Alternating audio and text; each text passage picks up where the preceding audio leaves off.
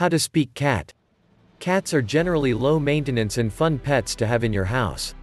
Your cat can communicate with you by meowing, hissing, purring, and even moving its body to signal wants, needs, and emotions. You can learn more about these noises and cat body language to understand what your cat is saying, and respond to them with touch or words. Method 1. Deciphering cat noises. Pay attention to vocal meows to know when the cat needs something. If the cat meows loudly one to two times, assume that it wants you to do something for it. Try giving it food, water, and attention. For an outdoor cat, open the door to let them go outside or come inside. If the cat continues to meow, inspect their body to make sure they aren't injured or in pain. The louder the meow, the more urgency the cat is trying to communicate. If kittens are meowing with their mouth open very wide, they may be signaling that it's time to feed or that they feel scared. Listen for short yips, mews, and chirps, which mean the cat is happy. When you hear shorter, quieter noises from your cat, observe it to see what it's doing. These are normally signs that it wants you to know that it's there and might want you to follow it somewhere.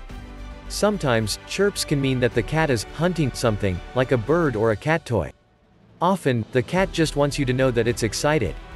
Cats will frequently make these noises when it's time for food or when they are communicating with another animal. Enjoy the cat's purring, which signals friendliness and contentment. When you're petting and playing with your cat, listen closely for a low, rumbling noise from their throat. Keep petting, playing, or feeding the cat in the same way, as this is a sign that they're feeling happy and want it to continue. Once the purring subsides, it's okay to remove your hand. Cats can easily become overstimulated, so be sure to pay attention to the noises that they make. Be alert when you hear loud, long growls, yowls, or wails. These sounds are signs that something is wrong with a cat. When you hear these noises, look at the cat's posture to see if it looks like it's in pain or scared. Wailing is often a signal that a female cat is in heat, so keep it indoors and away from male cats if you don't want a litter of kittens. If you have more than one cat, growling can be a sign that two cats are about to fight. Try to separate them as quickly as possible to prevent injury. Prolonged, repetitive yowling often occurs when a cat is in profound pain, and you should get medical help quickly. Since cats instinctively hide their pain to avoid predators, they might be seriously ill. Back away and stay quiet when a cat hisses or spits. When a cat is threatened, they will pull back their gums to show their teeth and make a hissing noise. If you see this occur or feel the cat begin to spray saliva, remove yourself from the immediate area, preferably out of the cat's sight. Often, the cat will stay where it is and gradually calm down. Never try to pick up or touch a hissing cat. It can bite and scratch you, which can cause serious injuries. Method 2. Understanding cat body language. Play with the cat when its ears are forward and it's crouching. When a cat is feeling playful and excitable, it will crouch on its front legs and flick its tail. Use toys, a string, or a feature to lure the cat into pouncing, running, or pawing to play. Keep playing until the cat walks away or begins to use their claws. Keep in mind that when a kitten is learning how to play, it will often bite and scratch to see what it can get away with, since it doesn't know what will hurt you. Pet the cat when it's lying down with its tail still and ears pointed forward. Observe your cat by looking at its posture as it lays on its stomach or side. If the eyes are partially closed and the cat is being still, run your hand along the top of its head and its back. If the cat stays in one place, try petting its sides, face, and tail to see how it responds. If the cat shrinks away from your touch or gets up, stop petting it. It may be trying to take a nap. Look at the cat's eyes to see if it's relaxed and content. When a cat squints or closes its eyes, this is a sign of happiness and relaxation. Watch your cat's eyes as you pet them to see where they like to be scratched. If you want to tell your cat that you love them, you can even squint your eyes at them as a form of communication. When you squint at your cat, try moving your head from side to side. Sometimes, if the cat is happy and relaxed, it will mimic your movements to show you that it understands what you're saying. Keep away from a cat with flattened ears or fluffed fur. Cats use their ears and fur to signal when they're hunting, threatened, or irritated. Look at the ears to see if they're pointed straight out to the sides or toward the back of the head. If the cat's back and tail fur is standing on end, slowly move away to make sure they aren't frightened or threatened, which can cause them to attack.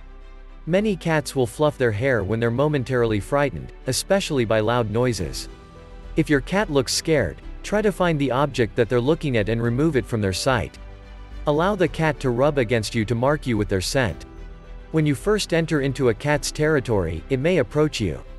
Stand still for a moment to allow it to rub against your legs, hands, and clothing, which makes you smell more like them. This is particularly important for indoor cats, because the outside can smell unusual and threatening to them, causing stress. Cats can also accomplish this by rubbing their face against your hands while you pet them. Avoid petting the cat's stomach, even if it's laying on its back. If you come across a cat laying on its back with its stomach and paws in the air, try scratching its head or sides. A cat shows its stomach as a sign of trust, and if you touch it, it might claw or bite you to signal that you broke its trust. Your cat may show you its stomach to say hello when you come home from work or to greet a new visitor. Method 3. Speaking to a cat. Be consistent about the tone and gestures that you use to communicate. Unlike dogs, cats aren't likely to respond to verbal commands alone, so rely on your tone, facial expressions, and hand movements to talk to your cat. If you change your tone or gestures, this can confuse the cat and make communication more difficult. When dealing with kittens, remember to exaggerate your emotions so they can easily understand when you're reacting positively or negatively. Talk in a high-pitched, happy voice when praising or feeding the cat. Associate positivity with feeding, playtime, and petting. Speak in a clear, cheerful voice and make eye contact with the cat so it knows you're speaking to it. If the cat is resting, keep your voice quieter but still happy and positive. Since cats have large ears, they tend to be more sensitive to loud noises.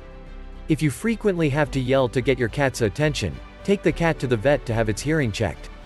Speak in a firm voice when correcting the cat's behavior. Use an authoritative, louder voice when the cat does something that isn't allowed. Say, no, or, down, to alert your cat that you're displeased with a negative tone. In general, try to use the same words when you're disciplining the cat.